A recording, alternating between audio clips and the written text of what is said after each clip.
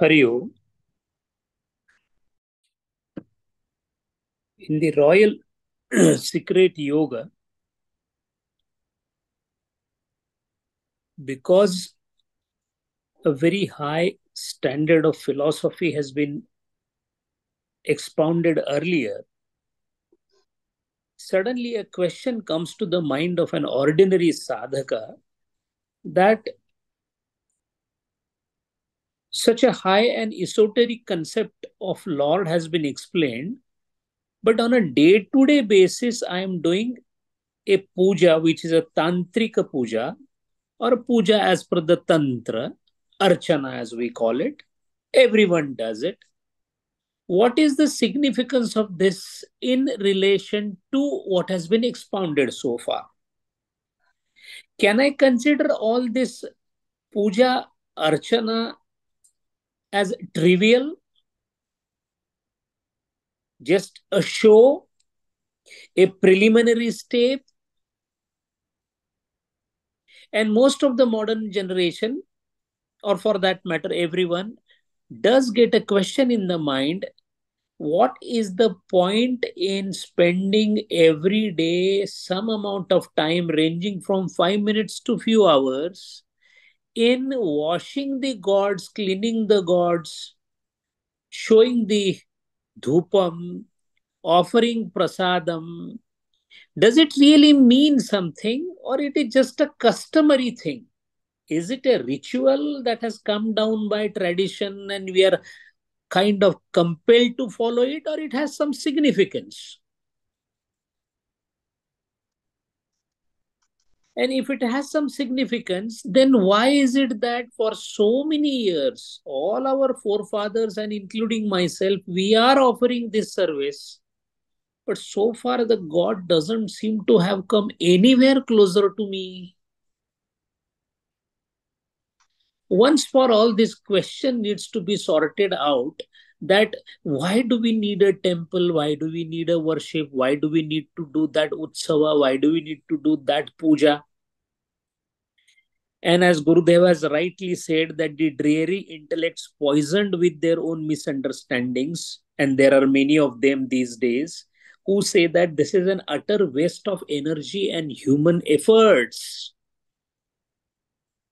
You could perhaps spend that much time in your work and perhaps you will be contributing to the national economy etc etc lots of large hearted philosophies come out from these people and then we become very weak in defending why the rituals why the worship why the archana is important for the sadhaka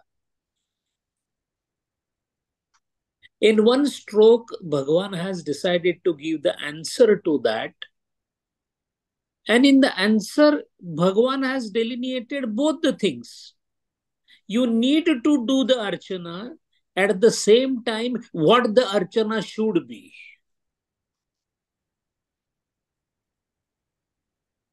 It is like somebody saying that if I am going to ultimately work as an accountant, why should I study history, go to primary school, secondary school, directly tell me what is debit, credit, and I will start working? Why waste time?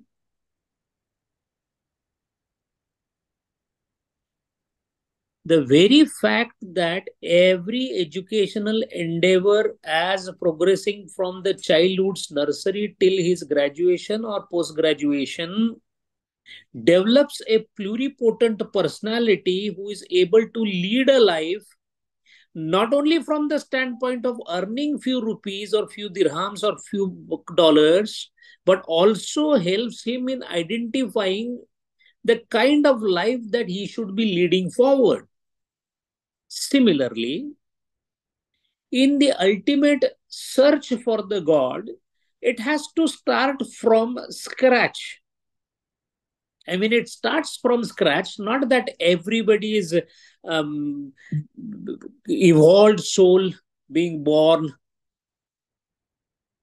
Everybody is not an upstart in spirituality. In fact, considering oneself as upstart in spirituality is a big crime because there is a possibility of a trap. Considering oneself as the beginner is always better And at that point of time, the first thing that one needs to inculcate is the very fact that there is something called Lord as a power existing in this world.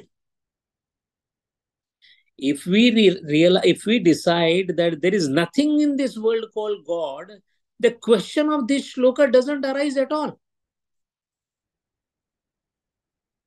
When we presume that the power is there, when we have some amount of inkling, of course, because of our past impressions, which gives rise to this Shraddha, more so if you are lucky and born in India, Bharata, then this Shraddha comes by default. It is in the blood of Indians. In such cases, then because of this inherent Shraddha, we tend to seek the Lord. And then, in order to bring that reality which is beyond the parimana, aparimita, dimensionless entity has to be brought within the dimensions then only me with my low intellect can perhaps think of grappling with the concept called Brahma. So for me, a Nirguna Brahma is a mighty jump that only Hanuman can take. For me, I need a Saguna Sakara Swarupa so that I can channelize my seedling called Shraddha and slowly water it so that it can a sprout first and then blossom into a big tree of devotion. बहुत सुकृतांची जोडी म्हणून विठ्ठली आवडी Tukaram Dnyaneshwar Maharaj says unless you have done sukruta vitthala name will not come in your mouth the tongue will not say vitthala and the reason for that is there has to be sukruta now that it can be very well presumed that we have done Sukruta, so got born in Bharatavarsha, so got introduced to variety of spiritual luminaries, including Guru Deva. Now perhaps the ground is ready for moving forward, and the first step to move forward for a toddler is to take the first step by holding on to something called tricycle this first step is taken by doing the archana, which has a lot of physically actionable components. Get the flowers, get the leaves, get the pure water, take a bath yourself, and then all these are paraphernalia. The child, when it goes to nursery, carries with him the tiffin to eat, some uh, toy also, and then also one particular thing to write something, one pencil, all this. Whole idea is that somewhere Sri Ganesha will happen. But the same Sri Ganesha can turn into actual Sri Ganesha provided with the grace or the blessings of Saraswati, it is understood that why I am doing this particular archana. So the need of archana has been definitely delineated by Bhagavan here, otherwise he wouldn't have mentioned it. But the second part of that, Bhagavan is mentioning that Yaha, anyone, who, Yaha, Yo, Yaha, it is विसर्ग संधि you anybody प्रयच्छति प्रयच्छति प्रयत्नेन ददाति one who offers यह प्रयच्छति मे to me to me May is Chaturthi Ekvachan. Usually Mahyam is used for the same place. And Chaturthi is dative case. In Chaturthi, in Yo May, the one who offers me with some conditions Lord has put. Bhaktya Bhaktya means with devotion. The crux, as Ramanji pointed out, that Bhaktya word has come twice. And both the times it is applicable to, once it is applicable to a person's mental status, and second, it is applicable to the instrumental case of Upahritam. Bhaktya and Bhakti Upahritam, the difference here is in the Antakarana, which is the bedrock of creating vrittis, these vrittis, when they are in the dry form, they are called as vichar. The reason is vrutyaha vicharati. Because they move around, you get a thought, but it's a dry thought. I saw another car passing by. It's a thought, it's a vritti, but I have nothing to do with that car. I'm just mentioning it's a statement, vidhanartha, vidhan. However, when that car I saw was driven by my daughter, now the car is, is, is, is taking a different shape in the mind. Oh, my daughter went in that car. What happened between the two thoughts? One was Vidhanartha, second one almost Udgarartha. Udgarartha is because there is an lessing of emotion into it. When the vritti in the Antakarana is laced with the responding or reactive pattern in the thought itself. Suppose there is a person called Vitthal so we say a Vitthal come here विधानार्थ now we are in Pandharpura and there is Vitthala in front now you say Vitthala two Vitthals differ because one is विधानार्थ second is laced with emotion so thoughts or वृत्ति is when they are laced with the emotions, directed towards one particular entity then the vichara becomes a bhava. Bhava, Vibhava, Abhava, and Sambhava all are discussed in detail by none else than Bharat Muni in Natya Shastra, which incidentally is very close to Bhakti Shastra. So, Vibhava, Sanchari Bhava, these are all details of Bhakti Shastra. भक्ति शास्त्र रसायन very good ग्रंथ by none else than the अद्वैती Madhusudan Saraswati Maharaj भाव is in simple words to understand there is a child who is crying this is a statement my child is crying now what is happening inside is भाव so when with the fact that the one whom I am worshipping is mine, is me or mine, then the thought becomes completely different. I am not do doing, I am not pouring water on a, a, silver or a metal murti. I am actually having Balakrishna in my hand and I am giving a bath to Balakrishna. In fact, in Bhakti Shastra, when the puja starts, it starts from the toes Lord's toes are taken into the hand. Then slowly they are immersed in water.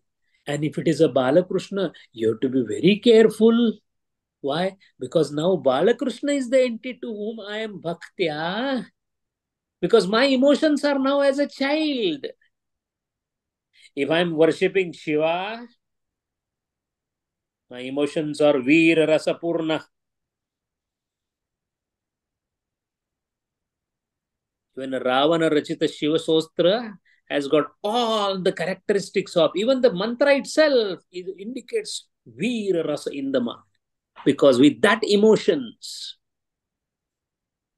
Vishnu Bhagwan is to be worshipped with Shanta Rasa.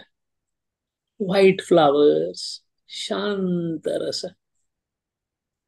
each Lord specifically available in Hinduism based on the kind of emotions you have.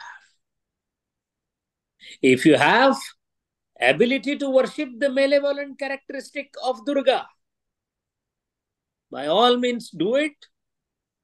But then that worship is not same as a Vishnu worship. So when laced with the emotion, yah prayachati me bhaktya, bhakti uparhutam. Bhakti uparhutam. Bhakti Uparutam means Upa uparhit. Rutam, dhatu rud. The essence of me, Uparutam, one who is close to me, upavasam, the one who is very close to me in that form when it is offered then only i receive it because it is an instrumental case ashnami is tritiya ekvachan instrumental case how do i what is the thing through which by which by which bhakti uparutam and such a person who is bhakti upavrutam is not only an emotional person alone. There is something more to it, and that something more is prayatatmanaha. Prayatatmanaha is in genitive shashti case of one whose mind is purified. Now the question comes, if it is about the purified mind, then why Shuddha Manaha is not written? Prayatatmana prayata is prakarshena yatati yasya saha. That which has been tamed, that which has been properly controlled with great and elaborate efforts. That is why a sadhu is called yati. Vivekananda is called Yati yatiraj.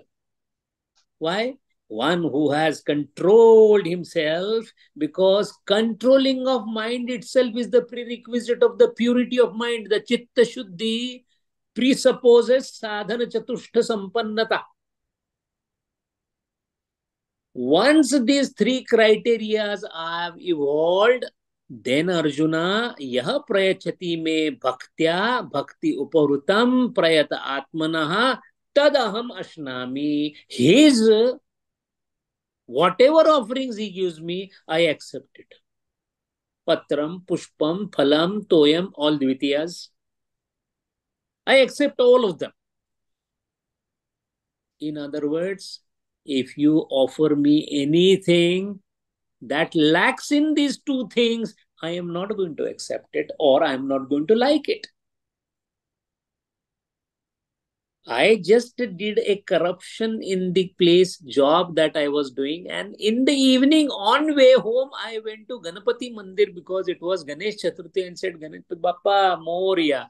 Ganapati Bappa is not going to listen to the Morya because you did not do it with Parayatatmanaha Bhakti Upavrutam. That hasn't happened. And that is the reason why Lord is saying that worship is definitely important. Chandrasekhara Saraswati Gala, the great Shankaracharya, used to do archana for which so much elaboration was required that sometimes few hundred kilos of flowers were called for. And then he would do the Jalabhishekam for a few hours and he was in a complete trance when he was doing it because actually and virtually he used to do puja. Why? Because he was yatat prayatatmanah and bhakti upavrutam. At that point of time, what you offer is immaterial to the God.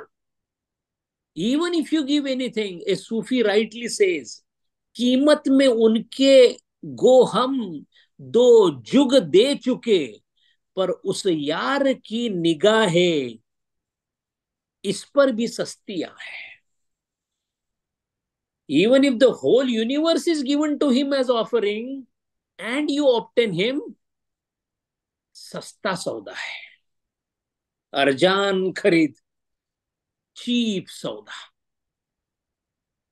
And that is because the one who is प्रयत Atman his approach is very simple the approach is as simple as as Raman ji said मेरा मुझमें कुछ नहीं जो कछु है तेरा तेरा तुझको सौंप दू क्या लागे है मेरा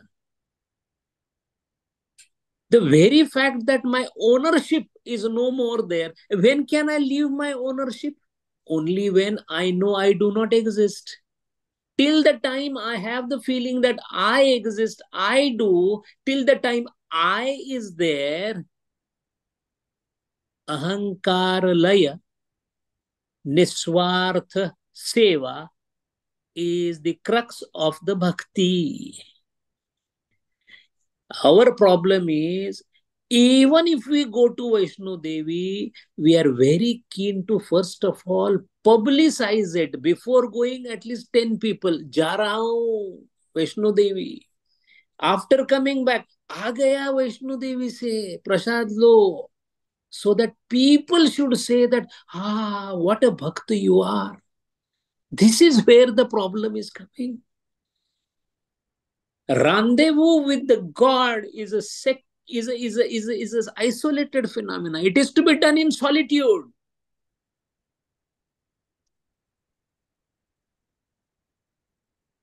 What is happening between you and Lord is only privy to you and the Lord, nobody else but it has to happen with the bhav. Tukaram Maharaj says, bhav bale akale yeravi nakale kartali avale taisa hari.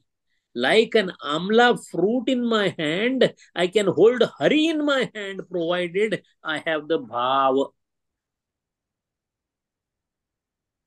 So that is how Gurudeva has given elaboration with last paragraph talking about two conditions, offering with devotion and it is with pure mind why pure mind and devotion? Why not devoted mind is always pure? Why not pure mind is always devoted? Not that every pure mind is devoted. Ask the guru nyangta or totapuri maharaj of ramakrishna paramahansa he used to say to his own disciple ramakrishna paramahansa thakurda whenever he used to come back from the vesper or the arati of Durga Mata, Kali Mata, used to say that, oh, did you finish making the chapatis? What happened? Viveki, Yata Atmana, pure minded, but zero bhakti. It is a different thing that the Shishya taught the Guru the bhakti and then he became completely, for the first time in his life, he cried in, inconsolably after getting the darshan of in while taking bath, bath in Ganga and taking the darshan of Durga Mata. In the same vein, the Lord further says, Yat karoshi, yadashnasi, yadjuhosi, dadasi, yat, yat tapassasi, tat kurushva madarpanam.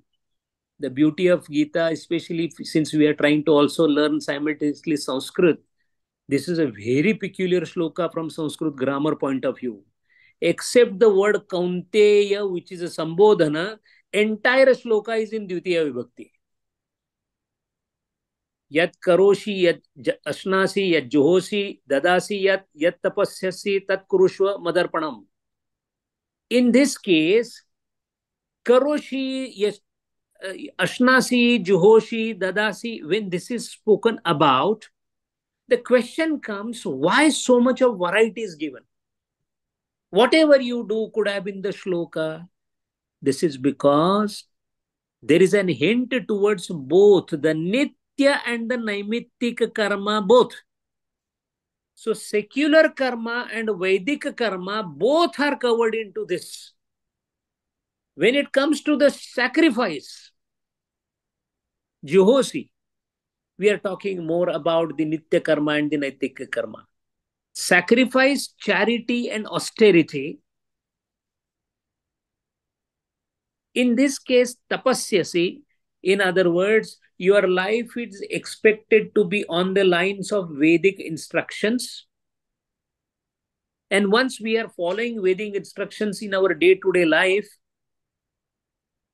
it goes without saying that whatever you do, that act one has to think, why am I doing it? Why am I eating? No, because I'm hungry. That's a physical reasoning. I am eating because Hinduism has given food the, the, the level pedestal of Parabrahma, Annam Purna Brahma. Samartha Ramdas, before eating food in Maharashtra, the common procedure is to say that shloka of Samartha Ramdas, which says, Anna he Purna Brahma. So you're eating Purna Brahma, meaning what? Even while eating this food that is given to be by whom? By him. Goes where? To the body. Given by whom? By him. And does what? Gives me the energy. For what? For him. Whatever I do, no, but I'm doing a job. It is just the technical description of what you do. For whom you are doing. Because I'm working at the place where I'm working, the organization runs. The organization runs so that uh, people working in organizations, they thrive. They thrive so the society thrives. Society thrives so the nation thrives and that gives a semblance of peace for everyone to then think of their spiritual progress beyond. So every act of ours is nothing else but Sahayajna concept Sankalpana, which is described into the second and third adhyaya. Every action of mine is Sahayajna. I am a part of the huge machinery called cosmos. And at my level, I may be a small screw or an important critical component. I may be a leader or I may be just a follower. I may be a very rich person employing 10,000 people or I may be a poor worker. With whatever limited energy or role that has been given to me, I shall be contributing for the entire machinery in my own way because I am born for that. This concept is the one which then explains everything that my austerity is not for myself. My austerity is basically for others in the sense that that helps me in reaching my goal. From the bhoga to yoga, I can come only when I get disenchanted with the bhoga the inculcation of paravairagya, which is the basic prerequisites for becoming one with him, can only come only when whatever is happening, I consider it to be his.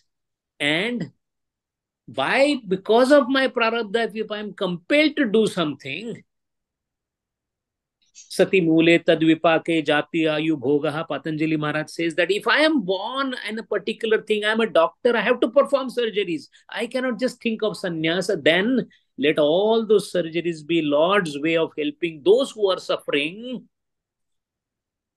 to be done in the manner of it is yajna or austerity. When such kind of activity is done, Kaunteya, I consider that as something which is given to me or arpanam to me. It is an offering to me. So that is why Jnaneshwara Maharaj says, Swakarma Kusuma Veera. How am I worshipping you, my Lord? By the flowers of my karma. Each karma is a flower that is given on at the feet of Lord Vishnu. So in two shlokas, Lord has told us the necessity of having a puja archana as our way of improving the spiritual temperament. At the same time without deflecting from the path that it is basically to be done with complete imbuement imbuement of devotion soaked in devotion thinking only of him to be done for him and everything to be ultimately done arpanam to him. Hari.